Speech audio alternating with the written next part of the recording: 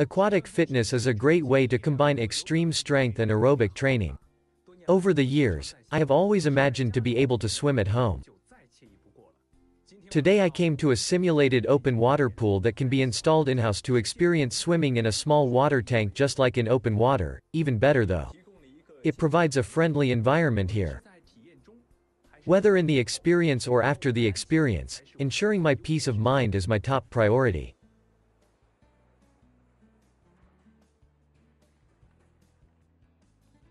The current flow rate here is suitable for all swimming experiencers. There are 52 different speeds to choose from. From very slow to very fast, you can see how wide and deep the current is. The simulated open water swimming pool is equipped with a swimming water flow generator that allows the water in the pool to flow. Multiple guide channels are used to balance turbulence and adjust water volume and flow. The water volume flows about 19,000 liters per minute. It sucks water from the bottom of the pool and is driven by a hydraulic driver that completely separates water and electricity, using the principle of Venturi effect. When the restricted water flow passes through the narrow diversion channel, the flow rate of the flow increases. Its flow rate is inversely proportional to the flow section area, and then passes through the honeycomb baffle to ensure the safe ejection of a 53 cm high and wide three-dimensional water flow. The smooth laminar flow is wider and deeper than my body. I just swam at a speed of 100 meters per minute for one minute and it was very relaxing, and truly felt in open water.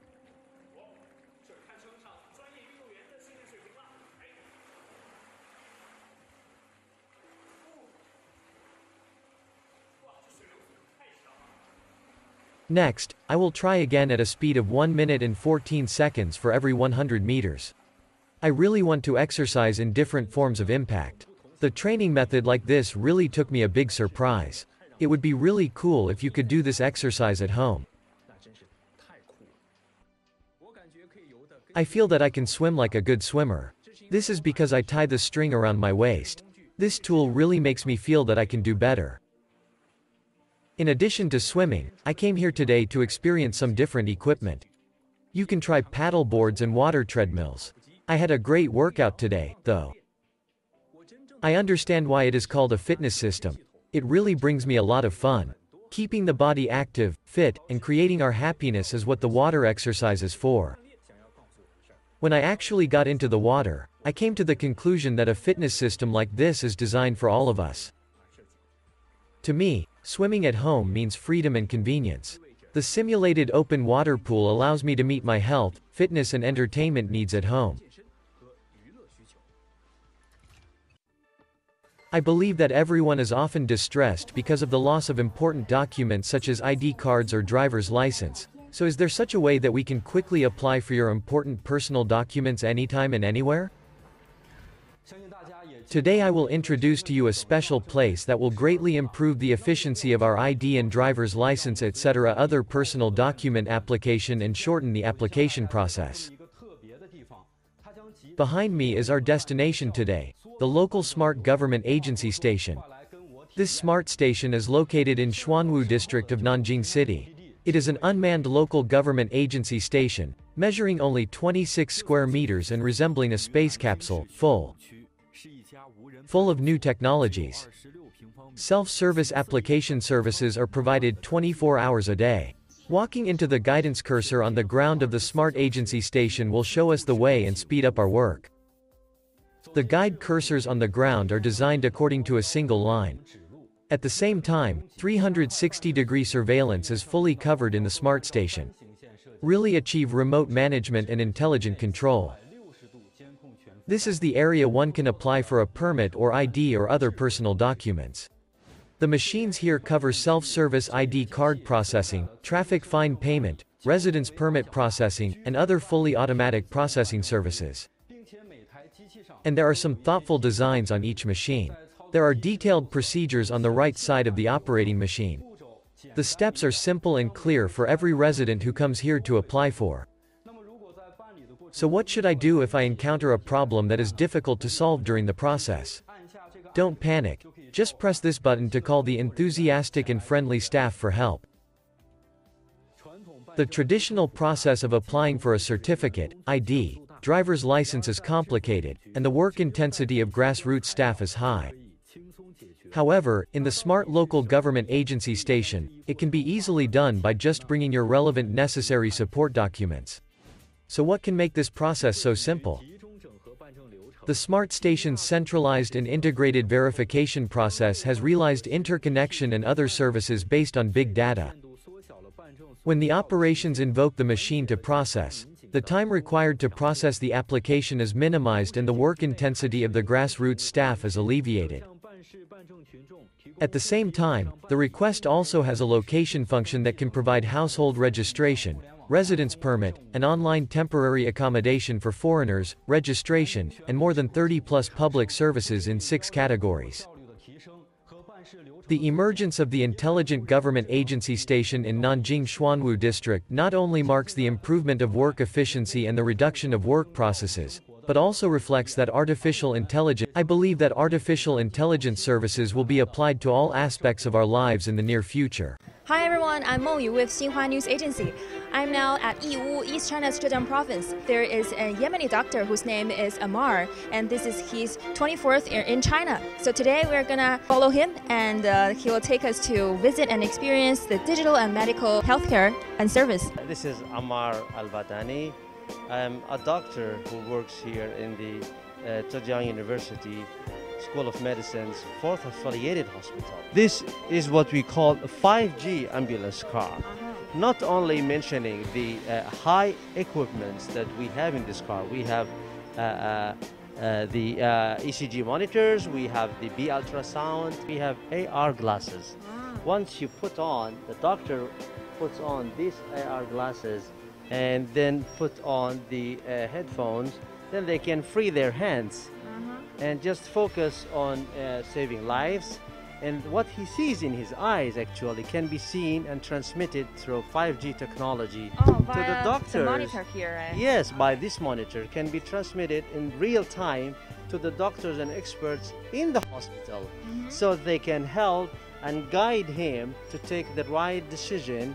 More than that, they can also know all the condition of the patient before reaching the hospital mm -hmm. so they can also make their own preparations all these doctors in the hospital they're supporting you guiding you and they're in a whole like recognition of the situation for the patient, the patient. a group of people is backing you up that's right yeah. that's right okay, well cool. said mm. so this will uh, uh, greatly enhance the efficiency when you save uh, the patient, right? That's right. Mm -hmm. This is what we call self-service machine.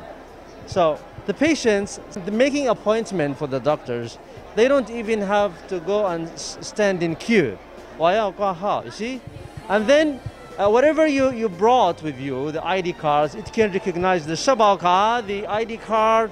Uh, even though if you did not bring any of your IDs, you can also use the Zhifubao, the Weixin, uh, and recognition their faces. This self-service machine not only helping the old people, and it's also, it's also saving time for the whole process for people coming to the hospital. Now you input your, uh, your mobile number, that's my name. Right now I have already got my ticket for appointment. I guess it's within 10 seconds, right? Within few seconds, you can solve problems that you need for a long time to go and ask so many people. Our main purpose is integrating high technology into saving lives. So this is how it works. Sometimes because of the traffic, because of the way far from the hospital, people cannot reach and we need to solve problems faster. So the drone can help us, like, you know, bringing the samples from those small health units and then we can send the medications. Mobile CT vehicle is designed for those areas and districts in the city that they might need to have CT scan. That is a small hospital moving around the city and going to some places for specific patients who we say they don't really have to come to the hospital. So we send that car uh, that vehicle inside there is a CT machine. So uh, this is, uh, I believe, is also a big ad advantage of the hospital. All the parameters, all the uh, numbers we're getting from there, the data, it's high transmitted by the 5G technology again to the hospital. So all the records are, you know, well uh, uh, registered in the hospital. Yeah, I guess it's uh, a future trend that many technology, high tech things will come to people's home. That's right. Yeah, and we will benefit from it.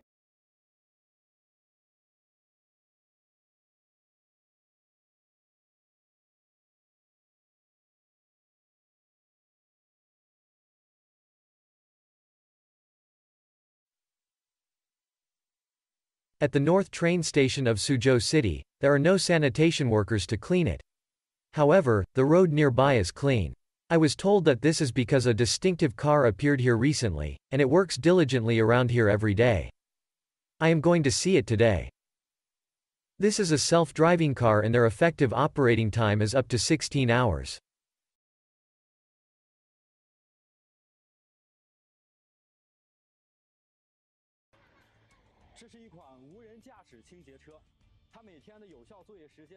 It can clean 13,000 square meters in 10 hours, which is equivalent to 10 sanitation workers in uninterrupted work. At the same time, it can automatically bypass obstacles, avoid pedestrians, and make emergency braking. How does it do this? In fact, 23 sensors are efficiently fused on it to achieve 360 degree holographic sensing. No matter if it is a roadblock or a crowd, it is hard to be escaped by the glaring eyes. There are different types of radars and high-definition cameras on the bracket overhead. When the cleaning vehicle encounters a vehicle in front, it will automatically pass from the side or other lane, and then return to the original lane to continue to work. If someone suddenly appears from the side of the road, the vehicle can also automatically recognize and brake in time. It is also equipped with multiple cleaning brooms and sprinklers around it.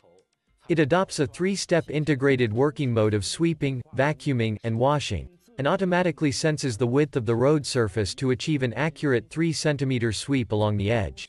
Combining artificial intelligence and 5G modules can transmit road conditions and cleaning results data to the back office in real time for intelligent analysis to help the cleaning vehicle plan the route in advance. In addition to these abilities, I heard that driverless cars have never been late when they are working. What is the reason for this? Normally, sanitation workers need to work at night, in high temperature and or severe cold environments. In addition, the sanitation efficiency of man-made operations is low, and the cleaning effect is difficult to guarantee. However, these problems and difficulties no longer exist with this vehicle. To deploy such vehicles in the city, it can greatly reduce the working hours of existing sanitation workers and reduce the labor pressure of cleaning staff.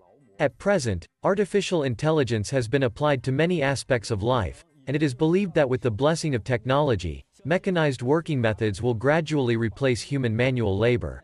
What follows is a large-scale, high-efficiency, and sustainable way of life. At the same time, we also believe that the future life will be smarter and more beautiful driven by technology. This is a small unmanned sweeper. It will advance and sweep at a speed of 6,000 meters per hour. Wherever it passes, the road will be swept clean. Although there is no one to operate it, its work efficiency is very high, it will not be tired or lazy. A full charge can work continuously for 6 hours. It usually takes about 6 sanitation workers for an hour in an area of 5,000 square meters in urban sanitation work, and this self-driving sweeper can easily complete the workload. So how does the driverless sweeper achieve it? And what about unmanned operation? Let's take a look at its eyes first. In order to ensure the unmanned sweeping vehicle advances accurately, it is equipped with a front camera, laser radar, 360-degree camera and ultrasonic radar to ensure that it can detect changes in the surrounding environment, at different distances and angles. In order to ensure unmanned driving cars can respond quickly to the environment accordingly, and work safely.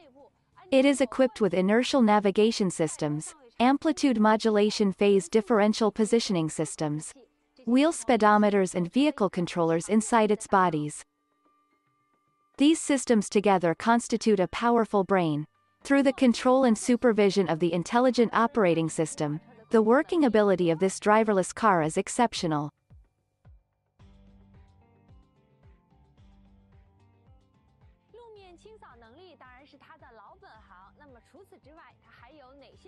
What other skills are there? What should I do if the battery runs out?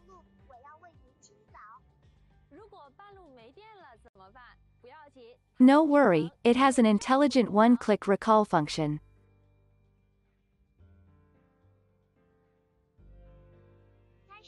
In the past, unmanned devices to replace human manual labor in all aspects of our life only existed in science fiction movies or books. Now the driverless sweeper has begun to replace human beings to complete the work efficiently in this city. I believe that in the near future there will cover all aspects of our lives and bring more convenience to our work and life.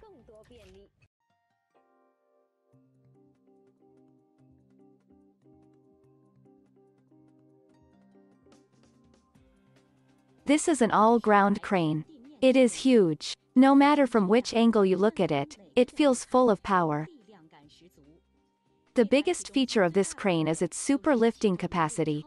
It can lift 1,600 tons of cargo off the ground, and can lift up a weight of 110 tons that is equivalent to 23 elephants in 155 meters above the ground.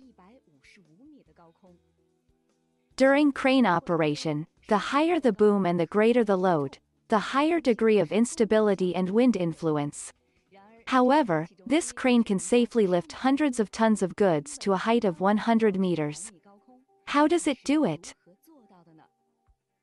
The flexible combined boom technology is indispensable for hoisting hundreds of tons of cargo safely to 100 meters in the air.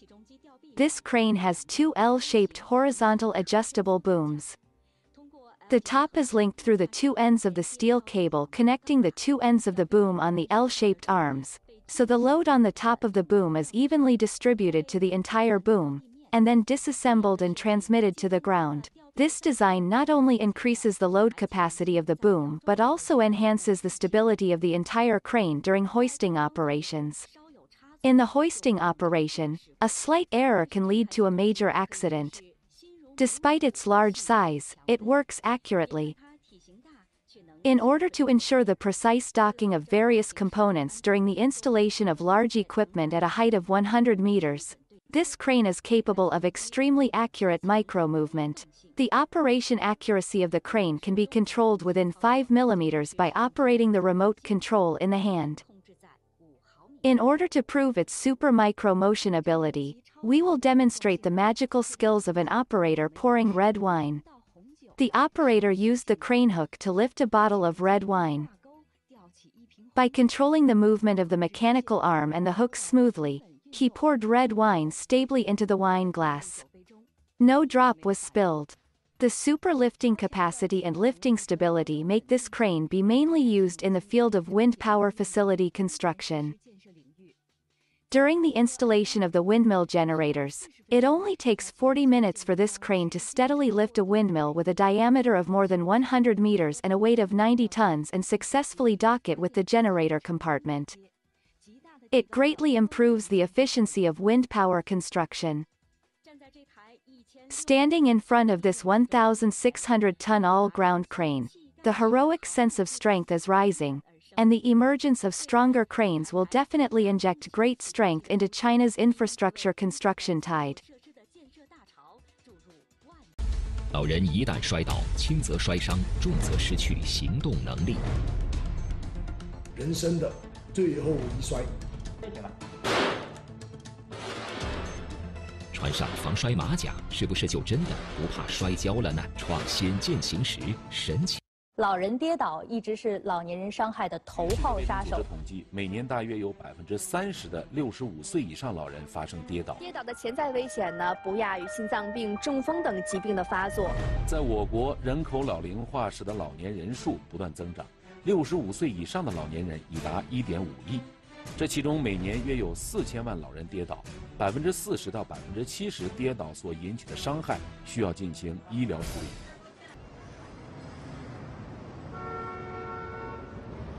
十几年前，一次意外事故，让从事多年汽车行业工作的苏中华下定决心，要研发一款摔倒时保护老人的装备。那个时候是我的外公，应该十几年了，身体都特别棒，就摔摔了一跤，然后也是一年多吧，就去世。装备的设计灵感便来自于安全气囊。我们想说，既然汽车有安全气囊，能避免这个人体在高处碰撞的时候能降低这个这个伤害的死亡率，那我们想说，能不能把这安全气囊哎移植在人身上，也能降低一下我们跌倒啊、意外摔伤，哎造成的这种对身体的一些冲击。老人一旦摔倒，很容易受伤骨折，尤其是髋关节骨折的情况更为严重。大部分髋关节骨折的老人，就算经过精心的治疗，往往也需要数年才能基本恢复，甚至有不少老人就因为这种骨折，彻底失去了行动能力。为了保护好老人的髋部，研发团队将传统的汽车安全气囊系统设计成腰带形式，这样老人只需要将气囊系在腰上，在跌倒时，气囊便可以弹出。起到保护作用。那么问题到底出在哪里呢？通过对设备的拆解分析，研发团队很快找到了原因。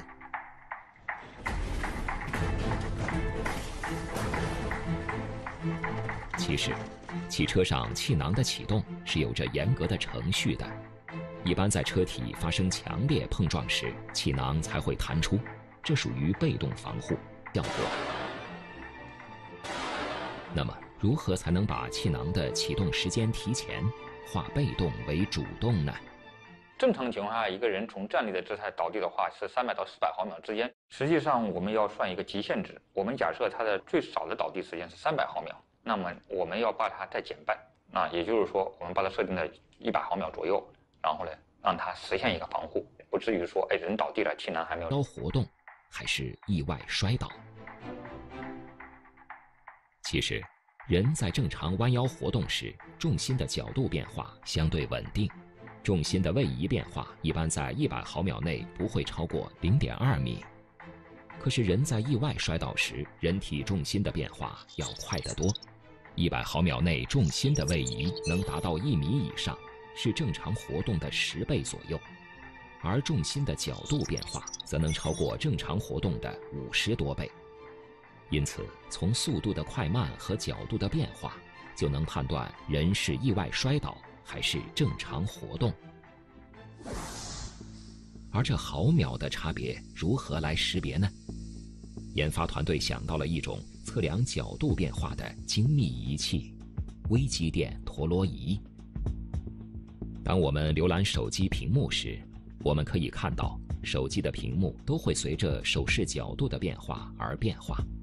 这其实就是手机内部安装的微机电陀螺仪起的作用。微机电陀螺仪就像一个触发开关，那么加了微机电陀螺仪的防护设备，表接近的瓷瓶进行测试。瓷器薄脆，轻微的磕碰都有可能出现裂痕，甚至破碎。用瓷器做实验，虽然可以更加直观地看见设备的防护效果，可是也给了研发团队更大的压力。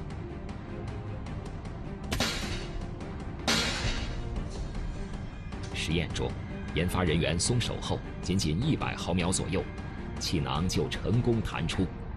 此时，瓷瓶倾斜的角度大于四十五度，不管是气囊弹开的速度还是角度。都比塑料桶的测试更为精准。瓷瓶倒地后依旧完好如初。陀螺仪的控制效果得到了完。摔倒的环境和情况复杂多样。意外摔倒后，如果头部、颈部着地，则更为致命。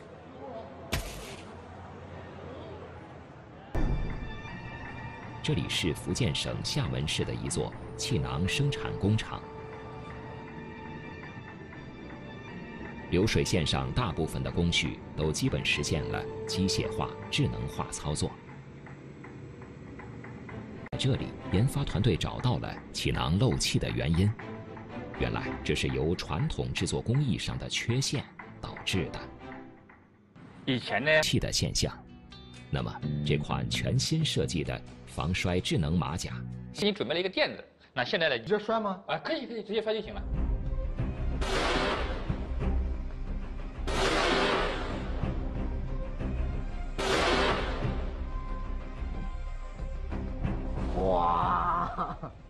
样感觉？向老师还可以，还可以，还可以，还可以，是不是非常挺快的？对，非常准，都保护住了。是的，我我我当时落下去的时候，我还以为会会会很痛，虽然说有垫子啊，但是确实一点都不痛。在摔倒的瞬间，马甲顺利展开。经过检测，气囊也没有出现局部漏气的情况。实际上，这款智能马甲在触发使用过后，还可以反复使用，只需要将气囊叠好，收进马甲，换上新的气瓶便可，十分便捷。可以了，好。在骑行的最后，苏中华模拟自行车失控摔向一边，失去平衡的瞬间，气囊顺利打开，完成了一次完美守护。还可以啊，对对对对对，我觉得挺好的。有没有有没有松啊？没有啊，这挺好的，挺好的啊。除了上述情况外，这款防摔马甲能否在任何意外摔倒时都能正常启动呢？创新进，为了进一步提升防摔马甲的可靠性，研发团队还在不断完善马甲的性能。他们效仿了各种意外摔倒的场景。